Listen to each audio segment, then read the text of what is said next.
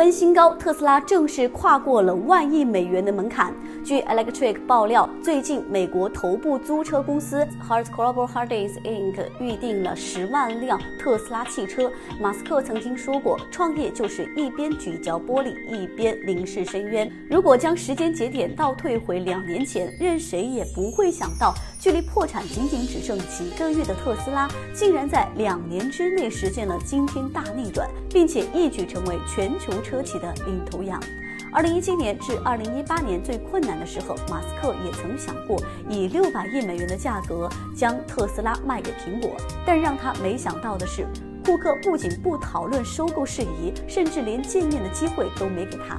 更让马斯克绝望的是，一年之内十三位高管的离职，加入竞争对手的公司，不仅让原本就风雨飘摇的特斯拉更加糟糕，而且还给了华尔街攻击特斯拉的理由。华尔街著名的分析师吉恩·摩斯特曾发文称，马斯克已经塑造了坏脾气的亿万富豪形象。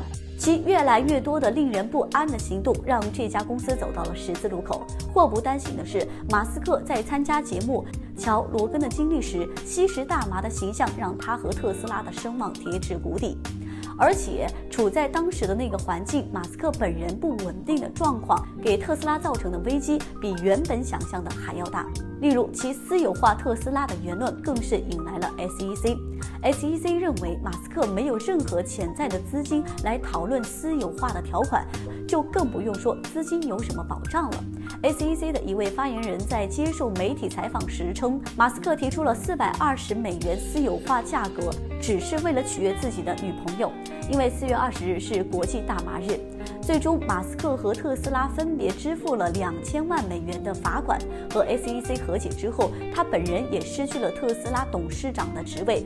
马斯克表示，那段时间为了晚上能够好好的休息，有时候靠安眠药才能入睡。痛苦总是持续的，而快乐总是短暂的。一直到二零一九年年底，特斯拉的水逆才结束。特斯拉上海超级工厂的竣工以及量产，让外界看到了一丝曙光。在产能得到极大提升的情况下，华尔街以及全球其他的资本终于发掘了新能源的风口，并将特斯拉的股价买上了天。一年十倍的涨幅让特斯拉彻底摆脱了危机。当时站在上海街头啃着煎饼果子的马斯克，肯定没想到他的特斯拉命运的转折竟然在中国。二零二零年下半年，马斯克在接受中国媒体采访时表示，今年一季度实现盈利是特斯拉过去十年最具里程碑意义的时刻。作为美股历史上被做空次数最多的汽车股，终于在这一刻翻身。不仅如此，除了特斯拉的成功，SpaceX 在2018年实现的一级助推火箭的完整回收，直到今天仍然是世界领先的水平。目前，马斯克的星链计划已经将超180颗卫星送上了太空。作为太空中拥有卫星数量最多的人类，向恩这仅仅是马斯克商业佐证的第一道开胃菜。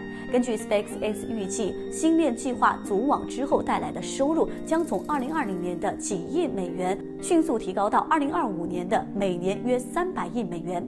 今年十月，SpaceX 的估值增长了三分之一，超过一千亿美元，成为全球估值第二大非上市公司。